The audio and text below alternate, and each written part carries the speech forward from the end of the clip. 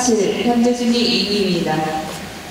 출전 선수를 소개하겠습니다. 문어초등학교 남수빈